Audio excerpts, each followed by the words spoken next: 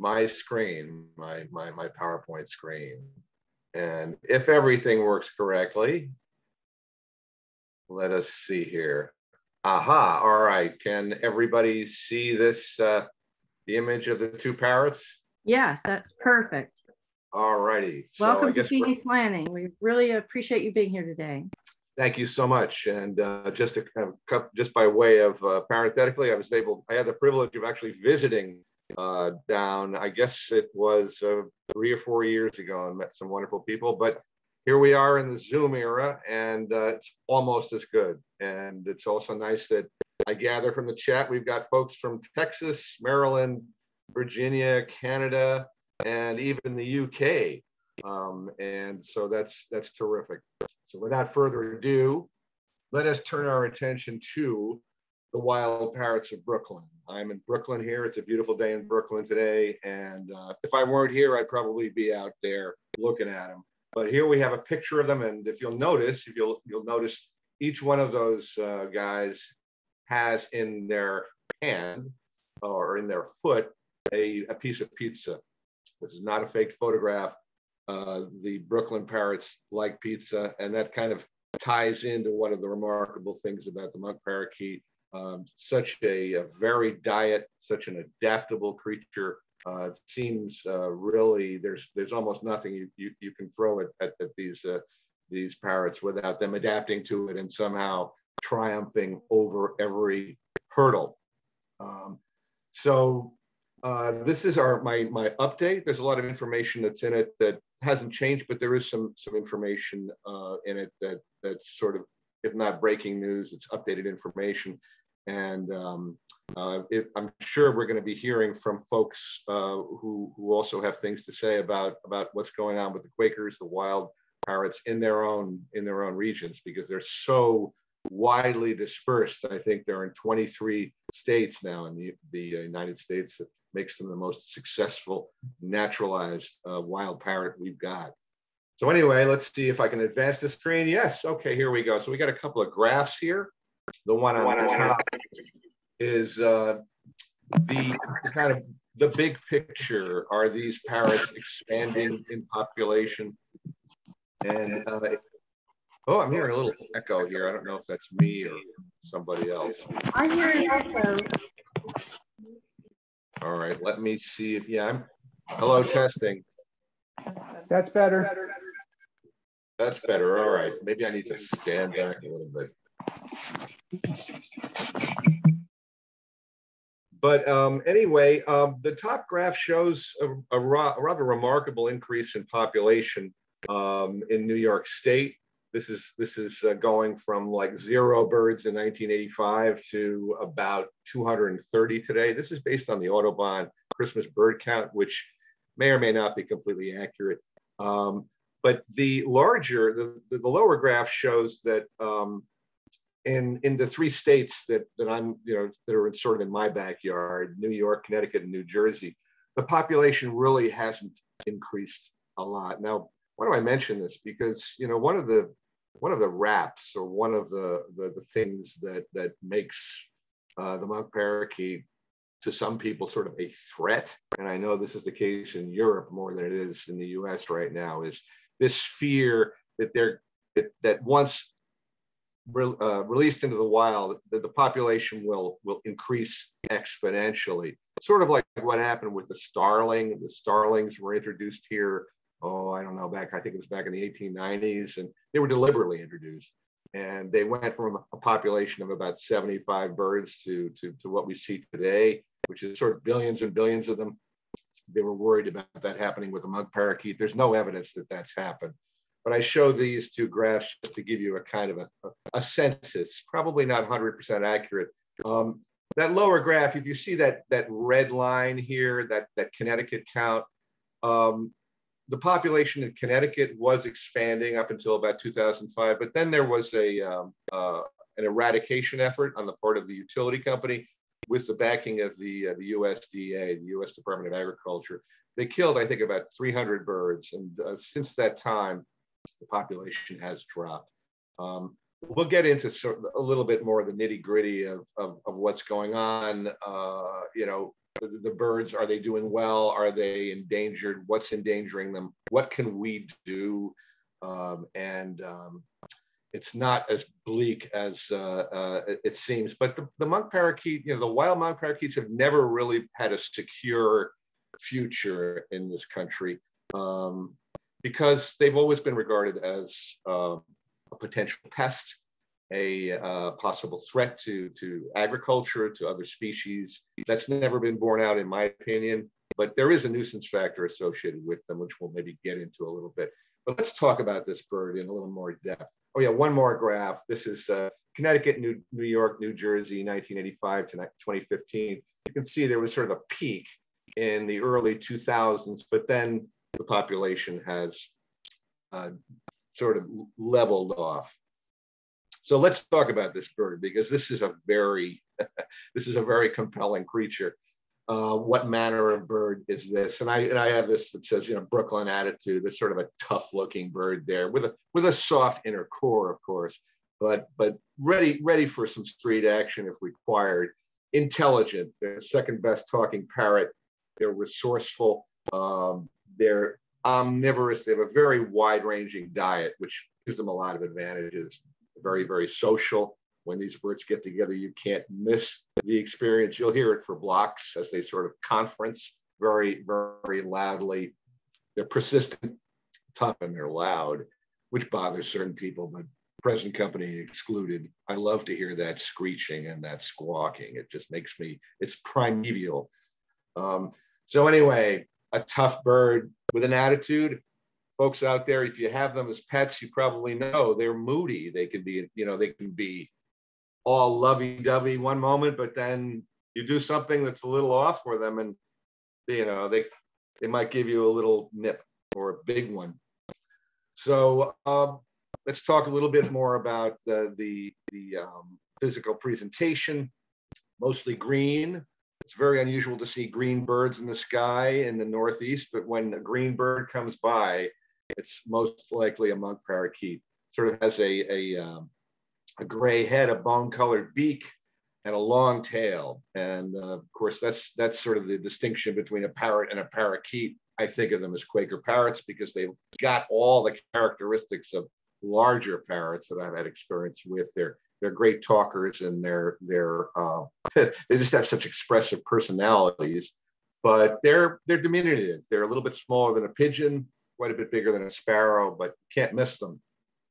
Um, they have a sort of a specialized feather structure that allows them to do certain things that you'll see them doing in, in the wild. They're, they can hover like little helicopters, and that, that serrated structure on that wing allows them to do this. They can also fly very fast, but when they fly, they very rarely fly in a straight line. They're always zigzagging.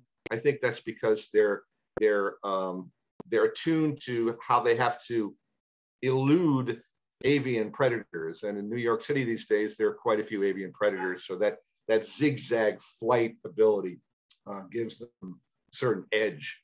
Um, they of course have that hook bill, which which doubles as sort of a Swiss Army knife, and of course it can be used to intimidate an attacker. I've seen these parrots actually go head to head with with falcons, and um, you know they're probably probably not going to win a fight with a falcon, but they can certainly make the falcon think twice about about going after them, whereas a pigeon or another bird would would not offer that level of of uh, uh, defense. Uh, zygodactyl feet, course, we're very familiar with that. You know, having those two toes in front and the two toes in back lets them make lets them grab things and manipulate things, just like our opposable thumb allows us to to to, to make tools and, and use tools. Um, little bit of history. Where do they come from? They are from South America, of course. They're not from the tropics. They're from South South America. The uh, where they come from is about the same distance south from the equator that Brooklyn and, and the Northeast is uh, north of the equator. So when they arrived here, um, it took a little bit of adjustment, but they uh, the climate that they found here was not that much different from what they they uh, they had in Argentina. Um, they have actually done some tests, some genetic tests on some captured birds here. I think Cornell Labs did some tests, and they found that they're all pretty closely related uh, which suggests that um, that the birds that we have here were captured from the same area um, uh, in Argentina. So Charles Darwin actually mentioned the monk parakeets when he went to Argentina in 1833, and I'm not sure exactly what he said about them, but I think he, he uh, his remarks were that they were remarkably adaptable uh, species uh, that had that was able to sort of adapt optimally to to its its uh, high altitude sort of cliff uh, cliff dwelling zone. Um, in the 1870s and 1890s, Argentina underwent an expansion of the railroad system to bring goods and materials in from the mountains into, into the main cities. The monk parakeets seem to have followed the railroad into town, into cities, into Buenos Aires. If you think about when they build a railroad, um, they haven't built one around here in a long time, but there's a lot of infrastructure associated with that, a lot of poles, a lot of a lot of uh, signal towers, a lot of human structures and the parrots just sort of we seem to sort of have leaped leapfrogged along those rail lines into the cities where we find them today. Um, now this kind of ties in. This is a photo or an actual of um, uh, painting of a, of a, Carolina parakeet. We have been without the Carolina parakeet for more than 100 years. This was our uh, native-born indigenous uh, North American parrot, unfortunately, due to um, a lot of different factors, uh, that's now extinct, was hunted to extinction. Um, it is a very similar bird to the monk parakeet, which suggests to me, although there's no evidence of this really, but you know, that there was sort of a, an ecological niche that the Carolina parakeet occupied that was left empty when the bird was was hunted to extinction, and the monk parakeets have kind of come into that niche and are able to sort of survive in that same within that same level of, of constraints. But we we salute the Carolina parakeet. Uh, I know there's some kind of a wild project now to try to um, reanimate or reconstruct a woolly mammoth. Sounds a little bit crazy to me. But if they're going to go that far to try to bring back extinct creatures, well, why don't we start out with the Carolina parakeet? It's just a suggestion. But anyway, let's go on to, uh, oh yes, we, on the right panel here, we see our monk parakeet. Now, not exactly the same bird. The Carolina parakeet's a little more flamboyant with that orange head, but otherwise, like say morphologically, right, in, in terms of form, they're pretty similar looking. They, I might mistake one for the other. Uh, and it's sort of the good news to me and, and others is, is that, you know, yeah, we lost a great creature, but we've got another one it happens to be an import, uh, but we should treat uh, the, the monk parakeet with some respect, especially given what we did in the Carolina parakeet. That was wrong. So let's go back into some recent history. Why are there these monk parakeets in 23 states in the United States? Why are they in Brooklyn? Why are they in Chicago? Why are they in Texas? Why are they in, in, in other states? Um, Massachusetts, uh, Connecticut, New Jersey. Well, it all begins back in the late 1950s. Now, this is a poster from this famous Broadway musical, Evita, Evita Peron. She really had nothing to do with this. She was out of power by the time that the uh, drama occurred. But uh, one of her successors, Arturo Frondizi, it's a name you don't hear often these days, but you, are going to hear it right here. He wanted to really supercharge um, Argentina's agricultural economy in the late 1950s. And as you can see uh, from this graph, I'm not sure where I, where I got it, a very obscure site, uh, but they were trying to, you know, get their agricultural production, especially their corn yield, way, way up. And so in the late 1950s, they talked to the farmers who were doing all this work, and the farmers said, you know, ah, these monk parakeets, they're making this our life impossible. We can't meet your numbers. We can't do what you want us to do. We can't grow all this corn because of these parrots. So, what did the government do? They said, well, let's get rid of the parrots. Then we can meet our goals. Then we can have an export economy and we can be a world power, et cetera, et cetera. So they set upon a uh, very cruel eradication program. They went out and they killed, I think it was in the neighborhood of about half a million of them. Um, they incentivized the farmers. They said to them, if you shoot a monk parakeet, cut off the feet, send it into Buenos Aires, and we'll give you a reward. We'll give you a few pesos or whatever. So over the next uh, few months and years, the agricultural office in Argentina began receiving thousands and thousands and thousands of, of feet that have been cut off birds. I know this is grisly, but I presume there are no kids watching at this early hour. But what they found out was that a lot of those feet that had been coming in were not monk parakeet feet. These were other birds that the farmers were just shooting at random and cutting off the feet. So there was fraud in that program. And they said, look, we got to stop this before the newspapers find out about it. And they did. So some genius had the idea of, look, it's rather than pursuing this crazy bounty program that's full of fraud, why don't we simply round up as many parrots as we can and send them out of the country? A, because it's less cruel, and B, because there's a tremendous market out there for intelligent, social, uh, human compatible birds. This is when pet birds were starting to get quite popular in the Western world, in Europe, and the United States, and in the early 1960s. So someone said, my gosh, let's do that. So over the next decade, really from the late 1950s in, uh, through the late 1960s, they were capturing and shipping out thousands and thousands of monk parakeets to destinations all over the world. They sent them, they sent them to the uh, to Europe. They sent them to uh, the United States. They sent them everywhere they could where there was a market. So while this was all going on, um,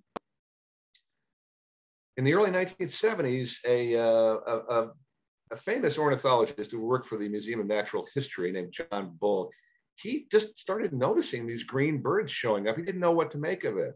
Um, I think he even captured one. The first ones they saw were on Long Island, which is not that far where in this part of Long Island from Kennedy Airport. Now that's significant because Kennedy Airport, shipments coming in, birds appearing, maybe there's a connection here. So he actually started talking to people, and that's what they said. They said, "Yeah, they're coming from the airport. We don't know exactly why this is happening, but that's the probable, you know, that's the probable cause of of, of this appearance." So let's talk about that airport a little bit. Here's a shot of the airport in the old days when before it was JFK, it was um, Idlewild, very modernistic, very futuristic. And uh, something happened 54 years today, uh, 54 years ago, as the Beatles used to say 20 years ago today.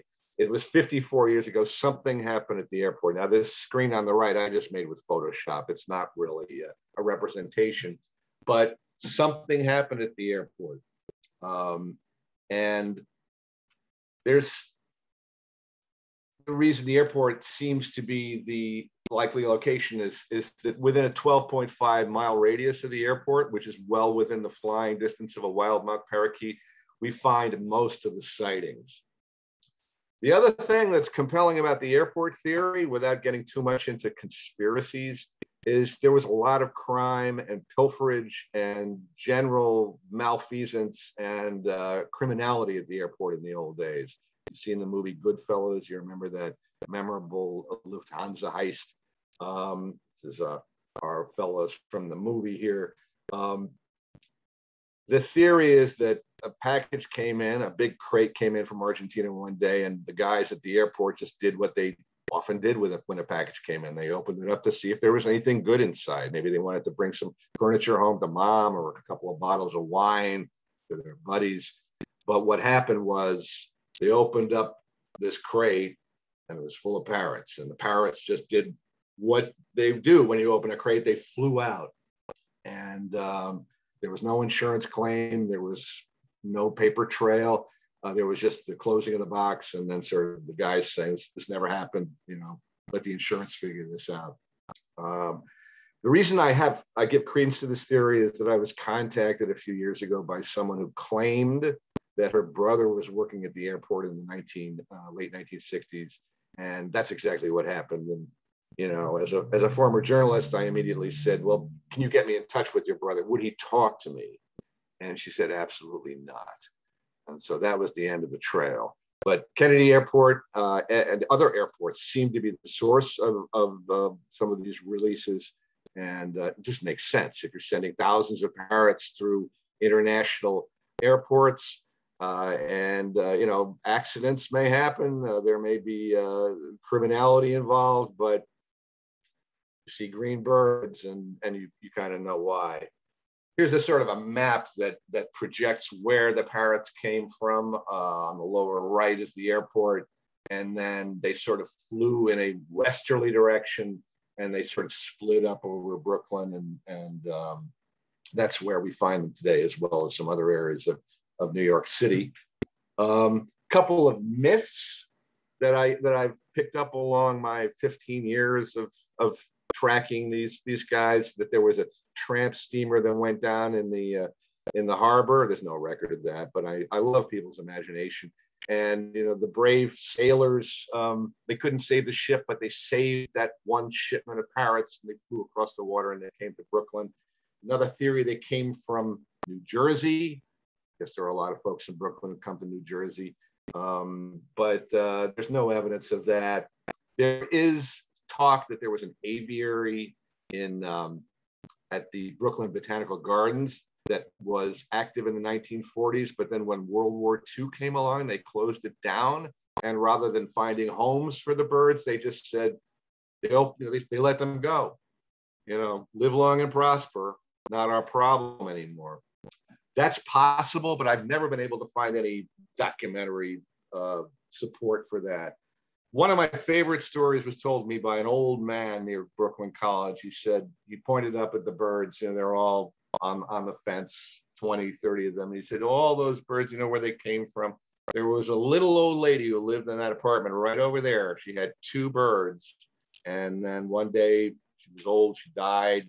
Her children came to collect her possessions. They saw the two birds. They said, What are we going to do with these birds? They let them go. So, like Adam and Eve, they they uh, begot and begot and begot, and uh, all the parrots in Brooklyn we have today are related to those two. I don't think there's any there's any real credence in this story, but there have been cases, and I think this is the case in in um, Austin, Texas, where 19 of them, maybe 19 is a magic number, 19 of them were released deliberately by someone who just wanted to let them go. And over the years, they've begotten and begotten, begotten.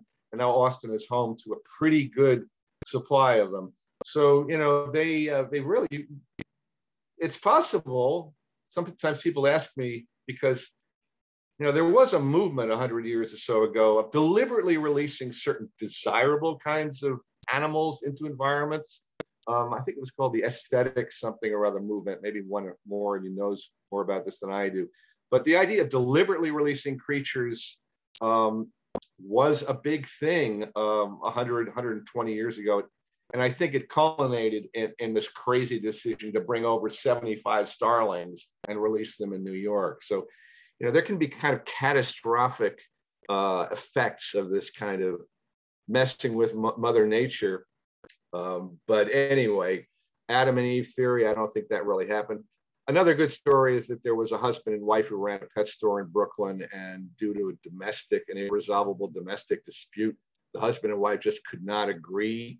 The husband won the battle and, and and for the contents of the pet store, but then one night the wife came in and just released all the birds and said, "Okay, you can have all these empty cages, but that's it. Uh, I've never been able to really substantiate that. But again, you know, when when you have monk parakeets, you're going to have a lot of speculation about them. So let's cut the speculation and go back to the facts here. When these birds started showing up in the early 1970s, it created enormous alarm. Uh, alarm among the newly formed environmental conservation agencies in the early 1970s. Remember, all those agencies really didn't happen uh, until I think it was the Nixon administration, the Clean Air Act and all that. It was about 1970, 72. Well, it even caused uh, alarm among those in Washington. And there was a uh, great concern that these green birds that were showing up at Brooklyn and a few other places were going to, like the starling, take hold, multiply, uh, turn into billions and billions of parrots and decimate our agricultural uh, infrastructure, decimate our agricultural economy, just ruin things. especially in agricultural states. So this was red, you know, this was the red alert blinking in Washington. And there was a program, it was under federal auspices, but with the cooperation of the, of the DECs, the Department of agencies in, in New Jersey and in New York, an eradication program. So they sent snipers up here and they killed about 300 of them. Um, but they didn't get them all. And a famous story, which is actually in the after action reports of this task force, this eradication task force, is that there was a report of a major monk parakeet installation at Rikers Island. And of course, Rikers Island was on the list for this sniper team. But when they showed up at the island, the guy at the gate said, Look, you know, I appreciate your bona fides here, but for you to do what you want to do, you need special permission. Maybe it was you can't bring telescopic rifles onto the onto the uh, you know uh, city property without a, a special permit. So he sent them away. They went back. They got the special permit. By the time they got back, though, there were no more there were no more monk parakeets on Rikers Island. So, and this is reported. Very, you know, it was almost a 100% successful operation, except for this one thing. Now, I don't know what happened to those monk parakeets on Rikers Island. I don't know if they were. I don't know what happened to them, but there are quite a few of them in Queens now, which is pretty close to to Rikers Island. So it really would have only been a five minute flight. So let's go and talk about what's been going on a little bit since the 1970s. And, you know, it hasn't been an easy ride for these parakeets. Uh, the utility companies regard them as uh, vandals and saboteurs. Um, the people tend to like them, but they're, they're, because they build these enormous nests, they're the only parrot that, you know, you give them a fire escape, an air raid siren, uh, an air conditioner, uh, a, a, church tower, a beautiful utility pole with a transformer underneath it. And if you look at this transformer, there's actually a vent at the base of this transformer that blows hot air to cool the transformer. Well, that's where the parrots love to build their nests because it's kind of like having HVAC. You know, it's a tremendous flow of hot air, which keeps them toasty warm during the winter. Unfortunately, it blocks the vent and it can cause an overload in the circuit. So the utility company guys come by and remove the nests from time to time. I don't begrudge them that because I'm not in favor of anyone losing power. My bone to pick, though, is when they do these removals, they often do them in a very cruel way or a way uh, or at a time of the year when there are babies in the nests. And that's just a terrible situation, very cruel situation. The good news is that utility companies, some of them at least, are, are upping their game. And when they do these removals, they time them in a way so that there's there's you know minimal uh, harm to, to, the next generation of parrots, but also um, they can still do these removals. But anyway, that's that's been going on. Also, poaching about 10 years ago. This hasn't been going on recently, but there were people going around stealing them. I guess believing they were incredibly valuable they do have a market value. Um, you know, if you go in and try to acquire a, a, a, Quaker parrot, you, you, can get one for 150, 200 bucks, legal to sell in New York uh, and, and in other states, but illegal in many other states. Again, for the fears that some people will will get them, they'll escape, they'll establish themselves in the in the wild, and you know they'll they'll wreak havoc. Although although again, they create a nuisance in my opinion, but havoc and you know following the pattern of the starling never happened. So let's talk about what these birds are like up close and personal. Well, they are aggressive and they often fight, but I've never seen them fight any other species except themselves. They have arguments. There are obviously tensions, especially around mating season, and they do go at it. But you know, no one ever gets bloody, and it's a lot of sort of performative aggression. Um, master builders of the bird world, as alluded to before, they can build. Uh, they and they often love to build around athletic fields where there's a lot of great grass for them to eat. They're native grass eaters in Argentina, but they can build under air conditioning vents in high power transmission substations in uh, utility poles and uh, they're fascinating to watch. I mean, they don't work during the nighttime hours, but during the day, they just are, they're tireless. They have some kind of crazy work ethic. You can't stop them. And they're perfectionists. It's like the nest is never 100% perfect. There's always someone who's going around making adjustments and you know making things just right. So uh, if you have nothing better to do, if you know you can, you, it's, watching a Quaker Nest is more entertaining than watching many a Netflix miniseries, in my opinion. Um, they're social. They love to do stuff together. Of course, there's safety in numbers, and they're always very careful. You know, they've got these eyes on the side of their heads, which gives them a sort of a 360 vision. There's always a bird or a number of birds who are just watching the skies, even as they work. They're constantly looking around. They're kind of paranoid in the way that many New Yorkers are, but it makes sense because they have real enemies. But here's a big flock of them. This was shot in Edgewater, New Jersey, which is this little hamlet right across the river from um, Manhattan. And I think this is more than 100 of them. This is the biggest group I've ever been able to get in one shot. Um, but there they are. And that's, I think that's about 80 of them flying in the sky. This is the biggest crop I've ever seen, or excuse me, the biggest flock I've ever seen. I don't know if they're still together. This is about 10 years ago. But what happens often is they'll form a big flock and then I think that at a certain point, it's almost like they run out of housing and they run out of resources. So the, the, the flock will split. And so you might have 75 birds in the flock, and then you'll show up a year later. It's like, what happened? The flock is half the size. It doesn't mean they got eaten. It's just that the flock split and they they dispersed elsewhere, um, but not very far. Usually within a few miles of where the flock originated. This gives you know this gives them this characteristic. They're not migratory. They're sedentary. I love the term sedentary. It means sitting down. I mean, once they sit down in a place they like, you can't get them out of that chair, um, which makes them very hard to remove. But if you like them, it's you know, they want to stay. Um, wide-ranging diet.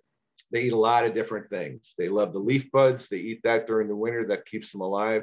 They uh, will go out and find any bird feeders you've got filled with suet or millet or anything else they'll, you know, a scout will find that bird feeder, re- report it back to the flock, and then they'll show up almost like a motorcycle gang and they'll just clear it out. So if you want to feed these guys, prepare to spend a fair amount of money on bird food because uh, they're hungry during the winter. But they can live and subside on leaf buds. Um, and then the other thing, of course, during the they love berries. They'll eat horse chestnuts. The one on the lower right hand corner, they actually have been seen, at least by me, to eat seaweed.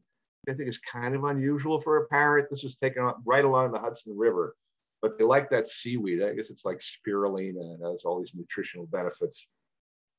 Uh, they fit in with the community. I'm editorializing here, but among the people who uh, uh, you know who who love them, they love them, and they'll they'll do things to protect them this little thing, uh, this little statuette here is from Brooklyn College, where an artist actually commemorates them, commemorates their presence.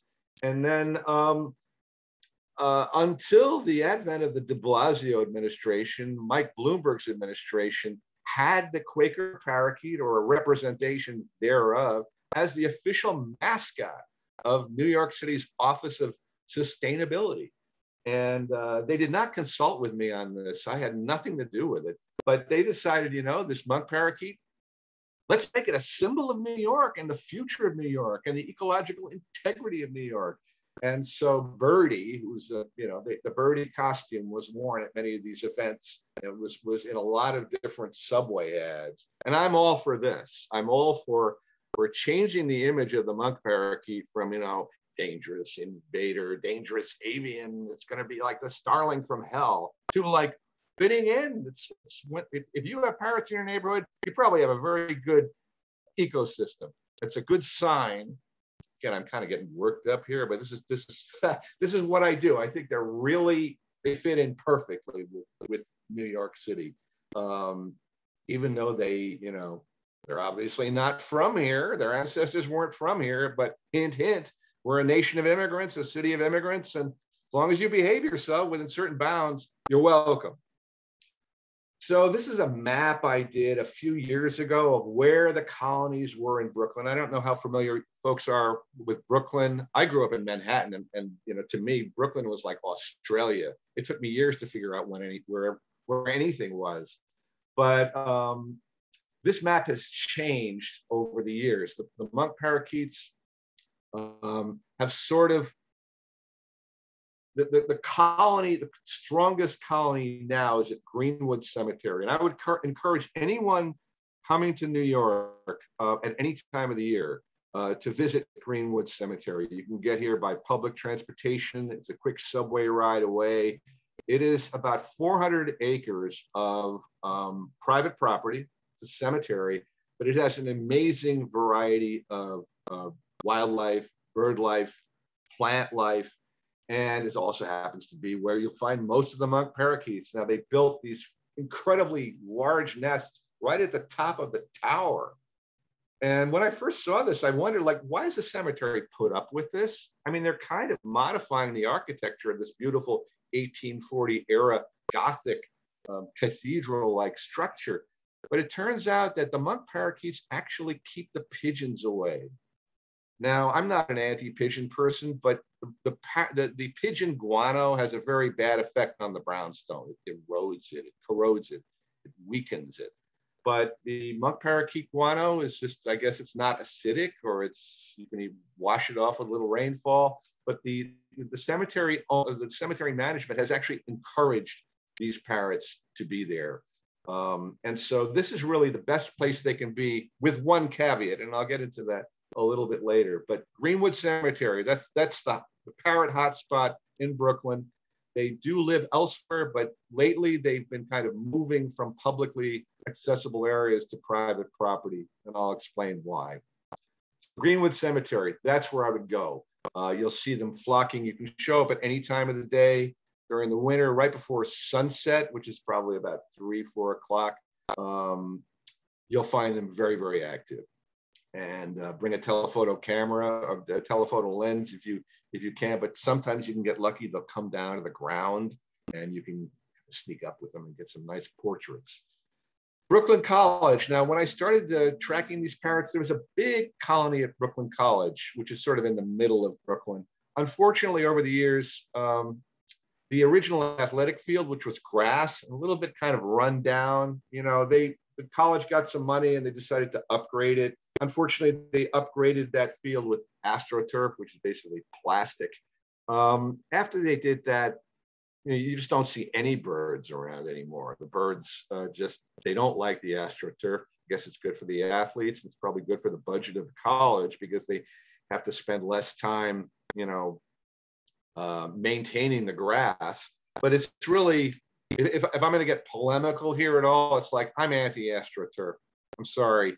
If you're at all interested in birds and, you know, if you just want to get rid of birds, put down the astroturf. They're not going to come back. And that's that appears to what happened to be what happened at Brooklyn College. They left the campus. They moved into sort of an adjoining area.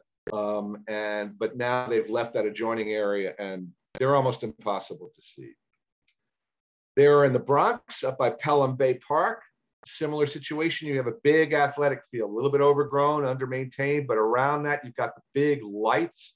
The parrots love those lights. They're 100 feet up or 75, 100 feet up. Uh, very few hum humans ever go up there, uh, but they have a sort of a, a uh, this is called a sub platform, or it's a platform underneath, like an access platform. It's an ideal place for the birds to build these tremendous nests.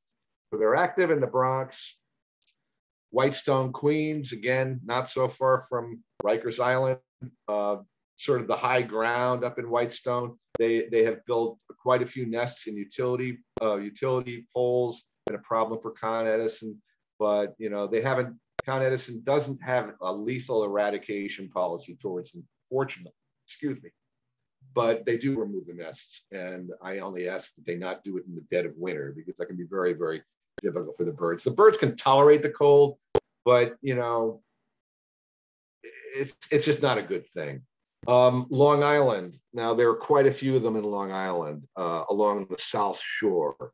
I don't know how familiar folks are with Long Island. I spent some time there. There's sort of like two different Long Islands. There's the North Shore, which is very, you know, the Great Gatsby, wealthy, very, very nice. And then there's the South Shore, which is a little more downscale, but in a way it's nicer. People are less snooty, yada, yada, yada. But the birds like that South Shore. So Amityville, Seaford, a few other colonies, the people seem to like them. That makes a big difference. If the people like them, birds will tend to be okay. People don't like them, though. All it takes is a quick call to the utility company or Verizon, and you know you've got someone out there removing the nests. Um, again, typical scenario here. We have a beautiful athletic field out here. I think this is in Seaford, and I can't see it really. You can't see this on on this, but uh, they built nests around the field. Again, the food's right out for them, uh, and they can go up in a very very well protected uh, uh scenario up in those nests. Let's talk a little bit about New Jersey because New Jersey is right across the river from New York City. There's a big, big colony of them in Edgewater. Um, if you come to New York, you want to get to Edgewater, it's a quick bus ride from the Port Authority or probably even a cab ride. But um, they have nested in trees right alongside this, this, this road. And the reason I have this photo here is that um, this is back in 2009. You see how lush those trees are? This is when the parrots had a lot of nests there. In 2019, those nests, were, excuse me, those trees were cut back, but you can see there's still a nest in here. And in 2021, the trees have completely come back and those parrots are all nesting in a tree. I haven't been out there since COVID. I haven't been out there, um, but that's probably the place I'm going to go next as soon as you know I can get free for for a little bit of time out to New Jersey because the odd thing about New Jersey is there's so many of them, but they're actually on the list of forbidden species. They're illegal to own and they're illegal to uh, traffic or do anything else. And I see it's 144. So I've been doing the talking for 45 minutes and you've all been silent. Can can you still hear me? You're doing great, Steve. Oh, all right. I just want to make sure great. that you know. Beyond right. great. Keep at it. I just want to I, we're, we're, we're, I want to keep things on focus here because I do want to hear from you and I want to hear your questions because and your observations because I often learn so much from from uh, from other people uh, with a different POV. Um, let's go on beyond Brooklyn a little bit. This is a nice graph from the Audubon Society. Down at the bottom, you can see this is from last 14 years. There have been 42,000 sightings of the monk parakeet in multiple states. Um, this is, again, the most frequently seen parrot or parakeet. Uh, and then we have the red-crowned Amazon, 15,000 sightings. They are not anywhere around the Northeast. They're, I believe, in the, in the Southwest. And then the Nanday parakeet, I've never seen any of them in the Northeast, but apparently they're also thriving in Florida, which is pretty much a tropical environment. So things are pretty easy for the birds down there. New York City and the, the, the, Northeast, it's a, it's a more challenging environment. So that's where we're at. Uh, um, but let's go on to some, before I conclude, some threats and opportunities here. So, you know, parrots have not had an easy time here. Um, what are their threats? What's, and they're not endangered. They're not on any endangered species list, but at the same time, colonies can be negatively impacted by certain things that are going on organized eradication efforts. Again, we saw this in Connecticut in 2006. Um, it did have a toll. I am told that there are about 400 of them now in, in Connecticut. And, and maybe if that eradication effort hadn't happened, there might be a thousand, but there's still a good population there. The thing that happened in Connecticut shocked so many people and it caused actually a lawsuit, which was unsuccessful, but really did mobilize the the the bird loving community to say, you know, this is wrong. What you guys are doing is wrong. I mean, capture them and, and send them to a zoo if you have to, but not a mass killing event, not a mass killing plan. And and that's pretty much what happened. It caused a lot of bad feelings. There were protests. Um, I didn't really get involved with this except sort of as, a, as an outside supporter. But the people on the ground uh, really were outraged the good news is, I think that a utility company is going to have to think hard and long about doing this again because this story went out all, all over the wires. It was even picked up by Al Jazeera, you know, which is so, so, you know, if you want negative PR for utility, your, your utility company, go after some, some cute birds and see what happens. And remember, utility companies have a special sort of situation in our in our economy. They're monopolies. They're legal monopolies. They're regulated by you know, uh, public utility commissions. So they are sensitive.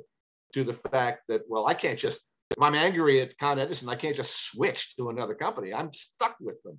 And I'm not bad mouthing Con Edison. But um, so this eradication, these, these, these movements to eradicate come and go right now. No one's thinking about that. No one's talking about that except overseas. And we'll talk about that a little bit at the end, perhaps.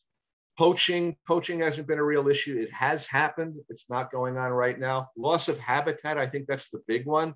Um, it's a wonderful idea for the athletes. The athletes do like it when you put in a astroturf field, but wildlife really doesn't like it. And I wish there was a way um, to have green fields, um, more green fields and fewer plastic fields.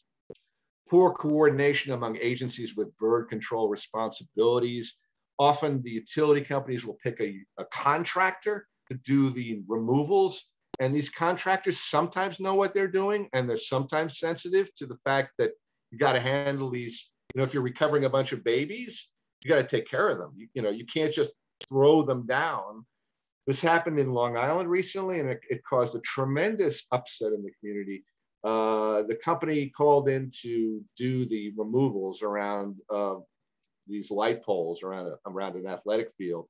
They picked a contractor who had no experience, and there was there's a lot of mortality and a lot of really bad feelings. And now what happens? It's like well, the contractor company said, "Well, sorry, um, but this should not be allowed to happen again. I don't know exactly how we prevent it, but certainly better vetting on the part of utility companies in terms of choosing a contractor who has done this before and is sensitive to wildlife. Um, so those are some of the threats. Now I also have to bring this up because I mean I I like raptors. I'm sure you like raptors too. Magnificent hawks, kestrels, falcons, uh, birds of prey it's a it's an inspiring thing to see in New York City when you see a hawk in the sky and you say, "Wow!" I mean, that's that's like it's like like a supernatural presence. But there are a lot of them now. There are at least three kestrels who were moved into Greenwood Cemetery, and this is more than I've ever seen before. There used to be one, now there are three. They're presumably a family. They're giving the parrots a hard time and I'm concerned about this. I don't know really what I can do about it or whether the cemetery can do anything about it. Uh, but this is the price you pay for uh, having a more a healthier.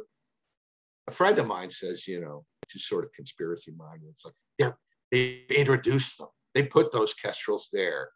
I don't think that happens. I think the kestrels just show up and, and it's a great environment for them because they can feed on a lot of voles and moles and mice and squirrels but also they feed on, they tend to go after the other birds too. So this is a threat that I'm actively watching. But again, I'm kind of helpless. What can I do about it? And I certainly can't bring a 22 rifle onto the grounds of a of a private private property in Brooklyn without someone someone saying, can't do that, folks.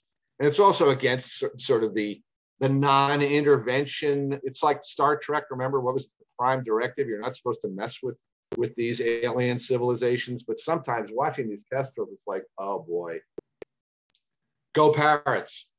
Um, anyway, opportunities. What do we need here in Brooklyn? Again, I'm not a I'm not a shill for Mike Bloomberg, but Mike Bloomberg, who was the mayor uh, for quite a few years, he had a million trees planted. This is great for parrots. It's great for all the birds. More trees, more perching room, less astroturf, please. Um, the poaching rings have been busted. Uh, they're no longer active uh, greater awareness on the part of people. I don't know if this has been enhanced through COVID, but a lot of people wound up spending a lot of time at home. So they might have opened the windows and noticed, hey, you know, there's a whole world out here. There, there's wildlife, there's stuff, there's there's a lot of drama going on in the extra human sphere. There's a lot happening, and just the beauty of going for a walk. Um, you know, we've all been shut down and locked up for so long. I think least in my case, when I went out for a walk, it was like, wow, the world, what, what is this thing? It's not on my computer. Um, so more awareness about, you know, healthy ecosystems and urban environments, better vetted contractors. Um, and then uh, before I go to questions, I will say there are some troubling things going on.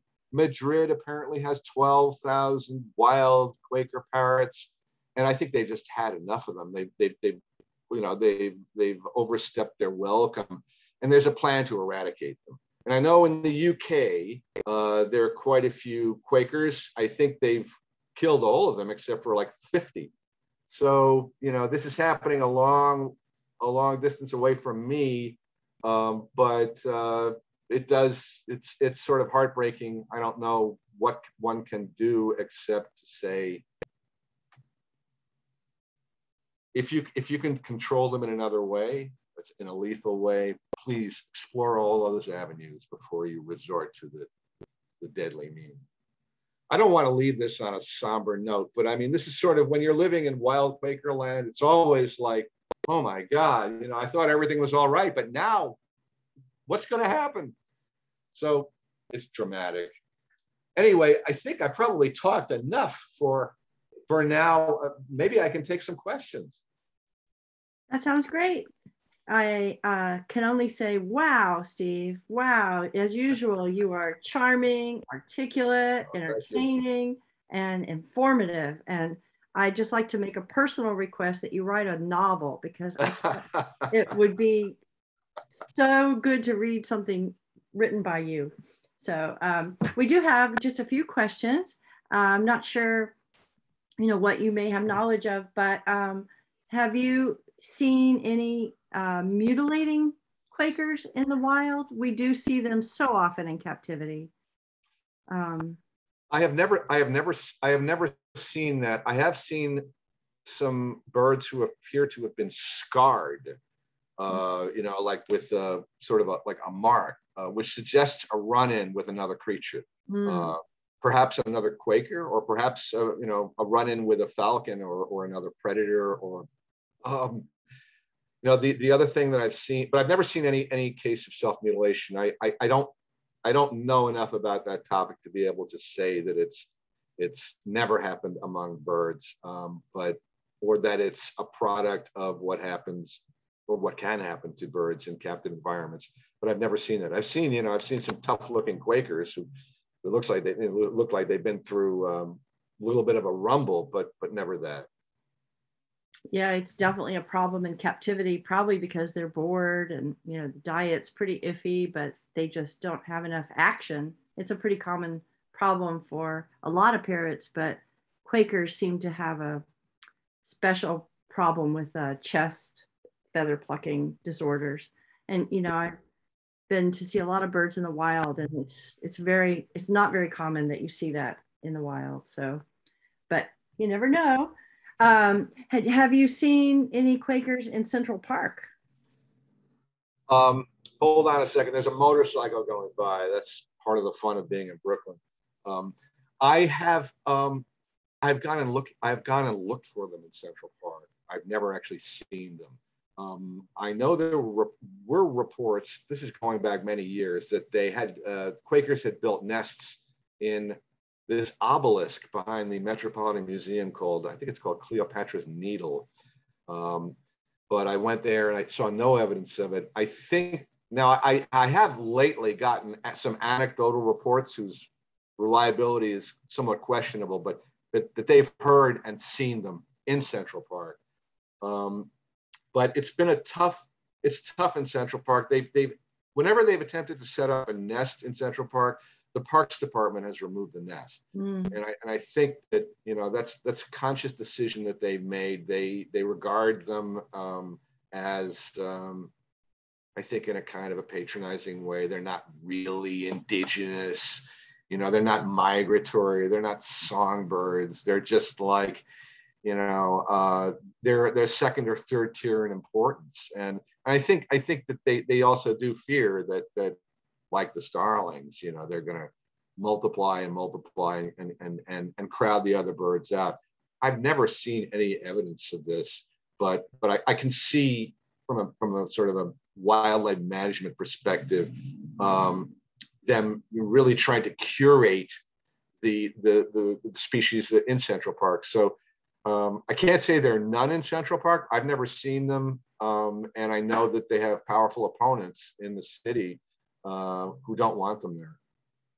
Do you have a sense of um, that they build a nest in one year and then they move on someplace, you know, the next year, or do you see the same nest being reutilized? Do you have any, you know, social insights to their behavior that way?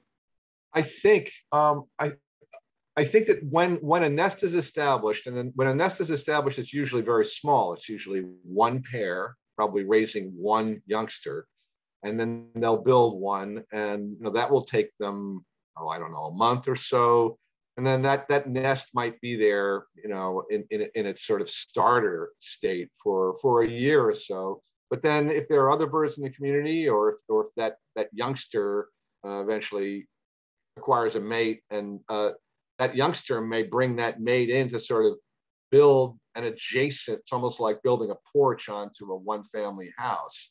And they sort of build, they, they like to add to an existing structure. I think that, that it's sort of, perhaps it's, perhaps it's sort of respect for the energy investment that's made. I mean, when that decision is made to build that nest at that location, again, I can't really say how much thought has gone into it. But I would imagine there, there is quite a bit of thought that goes into it, or instinct. I think it's probably thought. That, you know, is this protected enough?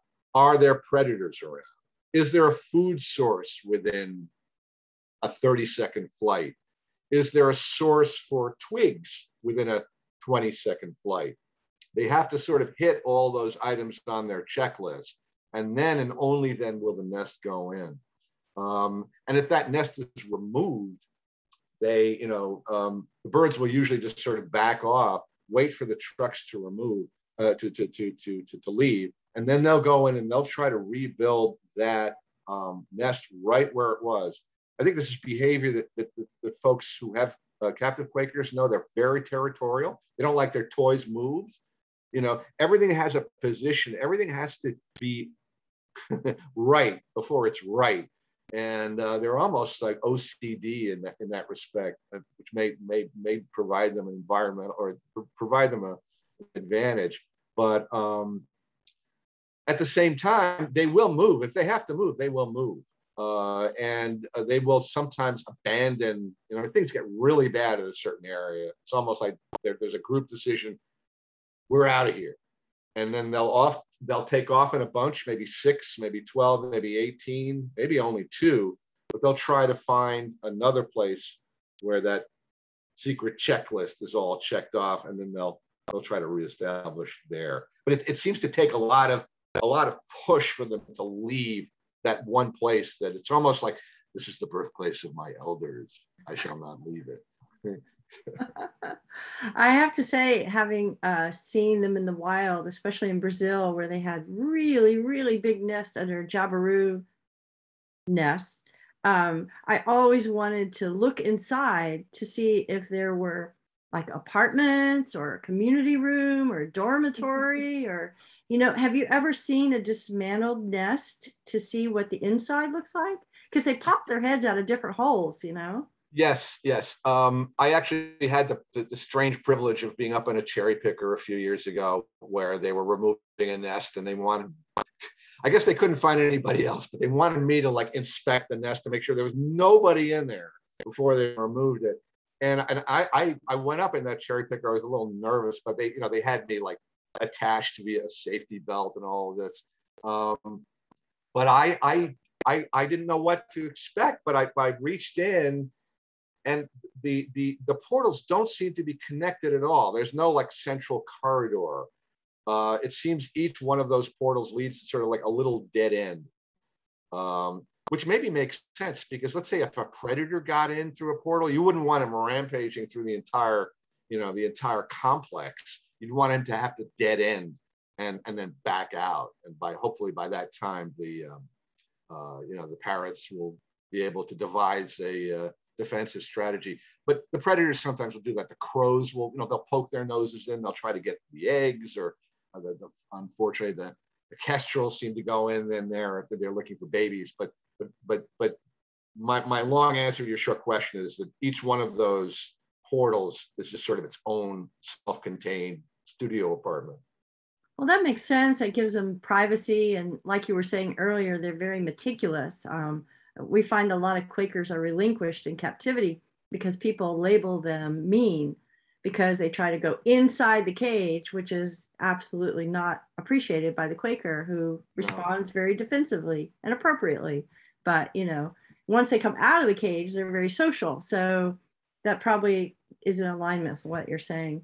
Um, yeah, I, th- I, think it makes sense because you know there's so much of the life of the Quaker that happens in that nest. Mm-hmm. Um, they they spend, of course, they spend all night there.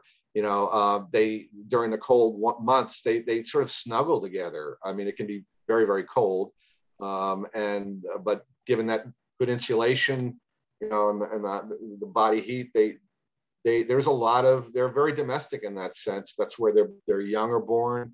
Um, and you know the, the babies have to be really protected in there for, for for quite a while before they can fledge and get out. So so yeah, that would make sense. That, you know, don't mess with I don't know. It's sort of like the heart of the home. You know that right.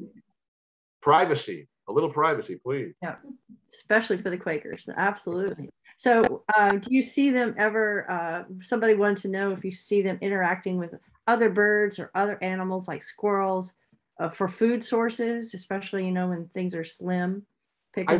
I've, I've seen them aggressively. I won't say attack squirrels because they've never actually you know, but they they buzz them because what the squirrels will sometimes do, especially if you have a Quaker nest in a parrot pole, excuse me, a power pole, you know, the squirrels will often use those lines to, to get across. And of course, they'll wind up sort of blundering their way across the nest on their way. And the parrots do not, do not like that at all. Um, there have also been cases um, where, you know, the squirrels have actually, the, Quakers often get blamed for starting fires in, in not that there are that many fires, but there have been occasional fires in these things, uh, in these power poles, which is not good for the utility grid. But um, the squirrels are often more to blame for that than the Quakers because the Quakers are small enough. So if they perch on a positive line, they're not going to make a con- connection to a negative line. But the squirrel, you know, these high voltage uh, positive and negative leads, but the squirrels are big enough so they can actually go and connect and form a circuit across a high voltage positive and negative connection. And, and it electrocutes the squirrel. The squirrel goes up in flames and the nest burns up and everyone blames the parrots. So I think they know that the squirrels are trouble. I've never seen them attack them. In terms of interacting with other birds, you know, they'll they'll form common feeding flocks with pigeons, sparrows, starlings, um, and you know, I've never seen them go after um, you know any one of the the the dominant uh, species of birds we find in New York City, which again are you know starlings, pigeons, and sparrows. So they seem to get along very well with with with the other wildlife. Um, but again, they don't like squirrels, and they definitely don't like predators. When a predator shows up, it's like, you know, it's like those uh, air raid sirens from the 1950s. You know, it's it's like red alert. Yeah, everybody run. Yeah. Yep. what is the largest predator in your experience? The the birds of prey. Well, yeah, I mean, you know, again, it's a, it's a good thing. And, and I know there are a lot of Raptor fans uh, in this city. Um, but, you know, the Hawks, red tail Hawks, um, they're amazing. They're, they're, they're, they're, you can see them often in Brooklyn. You see them in Prospect Park. You see them in Greenwood Cemetery.